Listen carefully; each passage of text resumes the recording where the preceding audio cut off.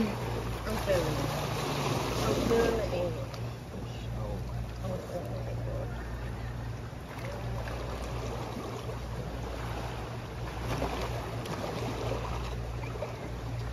man.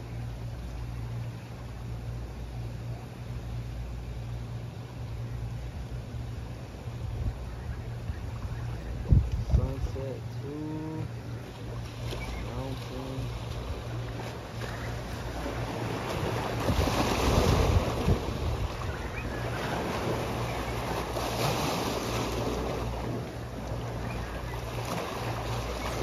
I put like a hole on my earlier, like a gel. Oh.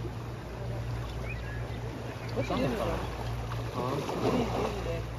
Um, we walked around and we were going to go get uh, breakfast and stuff, but my boy, uh, one of our high school friends, he's out here uh, staying with my, my homie Melvin who lives here, and um, he's trying to figure out if he wants to stay here or not. And we went to this little coffee shop at the International Marketplace, and I guess he wanted a job there before, so they, they gave him a big interview on the on the spot. So that took up a little bit of time.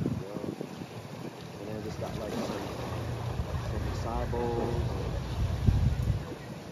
We were gonna go to uh, Beach, but uh, by the time we started moving around, it was like too late. I really just being here, being able like to walk to the beach, just to see the water, all this stuff.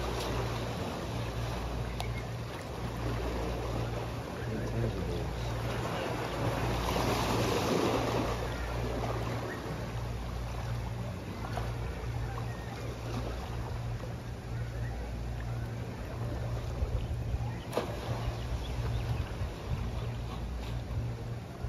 Yeah, I definitely rock with the entrepreneurship, ownership.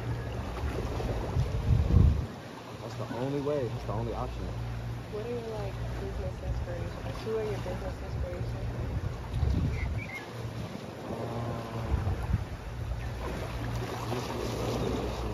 Well, um, it's always been like for me, uh, Nip Nipsey Hussle.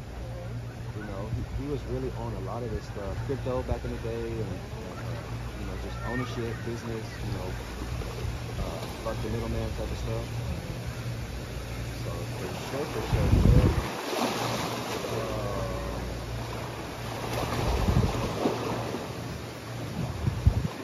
guess outside of that, I haven't really like studied or, or tried to mirror anybody who's in there.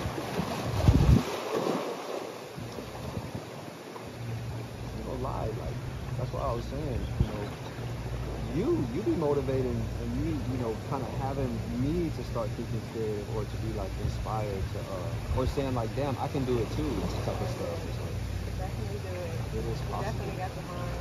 Man. What's like a regular day for you? Yeah, let me see. Uh, San Antonio. Not good. Uh, it's just aside from like the everyday stuff, like working and stuff. Um, No, like you wake up at what time? You go to work at what time? What's um, breakfast? Like walk me through Yeah. a regular day. Yeah. So, um, Take me there. Take me there. So right now I got my own little spot.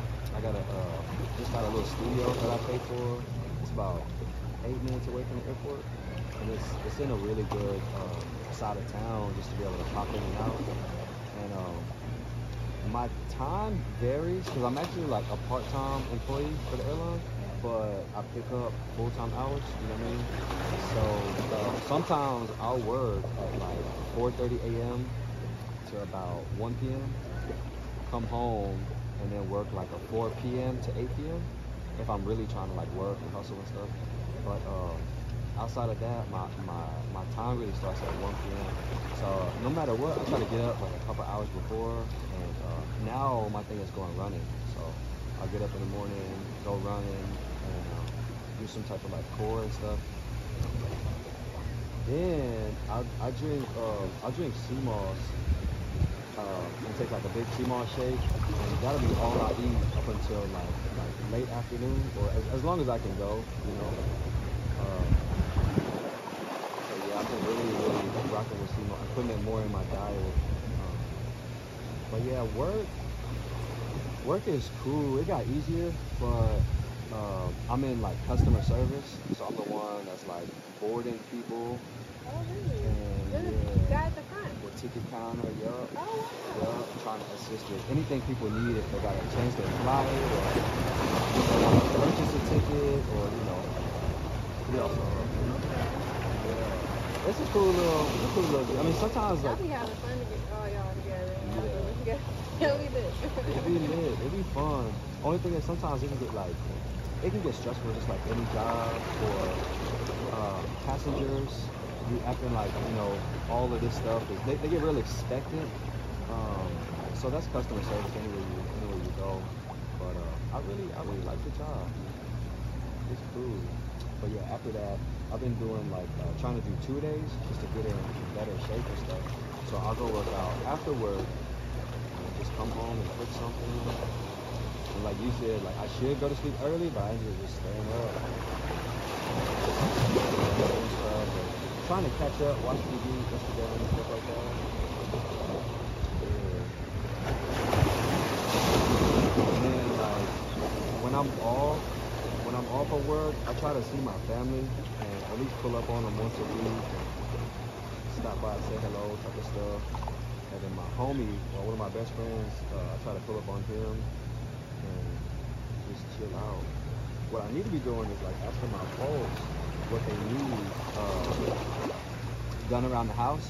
Cause it's like my mom's be like, man, you know, this nigga, he don't be, he don't be doing, you know, he say he gonna do it, but he don't do it, and it took him a week. about to you do- or your dad? My pops. Okay. And like, man, you don't never, you know. But in my eyes, it's like I've always seen him as like uh, selfless or working, working for us, type of shit. Or just, just real gave up his life for us so that we can have more type of stuff.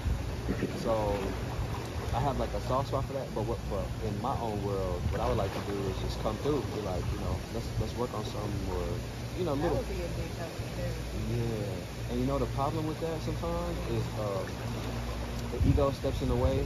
Like a lot of times, even with uh, with my dad, it's like he'll be like, "Man, nobody ever helps me. Now that I'm retired, no one's home." So you know, it's kind of like I can I can understand that. And then when I come around or whatever, and it's like, "Yo, you want to work on this, or do you want to work on that, or you know?" It's almost as if like he takes it personal, where it's like, "Oh, you just pointed out that I didn't do it," or or kind of like So he got that six months. yeah, or it's like, damn, y'all want to come out and, and try to work on some stuff when I'm just chilling. I'm not trying to do all that right now, you know.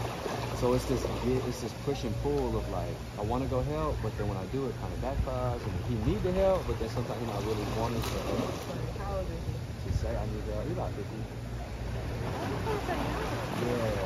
about 50. Oh, they had y'all young. They did. Yeah, they had my uh, sister when they was 18, and then me, I think when they was like 20. Great. Yeah. You got like cool. Yeah, they they real cool. You know, they they supportive and grew up with like See, that. they just getting in the groove thing. For real though. You know, they retired. Wow.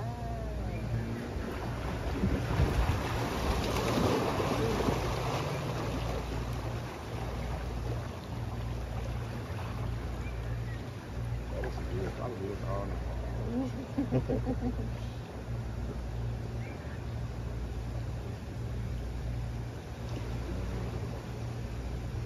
How far is uh is spot from here?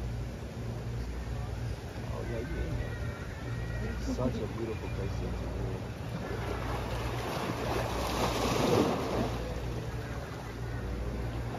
Where I was staying at in Hawaii Kai, uh, right over here down the street, it was like on a farm. And I didn't know that there was farms on this side of the island, but there was one big house, and then I had like my own, uh, this big ass cottage like, on the property. And I loved it. It was the best time that I've had like on the island. It was so.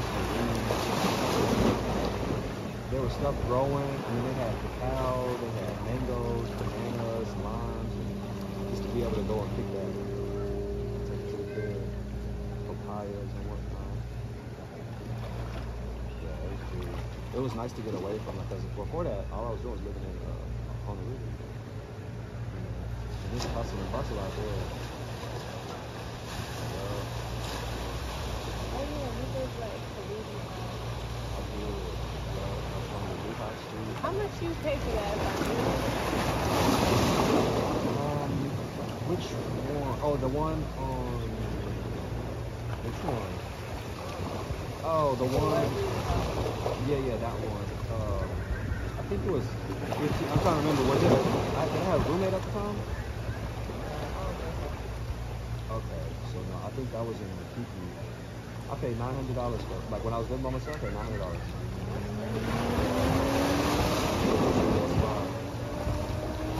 When I lived like on the Lehigh Street, it was fifteen for two of us. It was like a two-day deal. Yep. I lost in the. Alright, let me see. Mm-hmm. Oh, it's filming.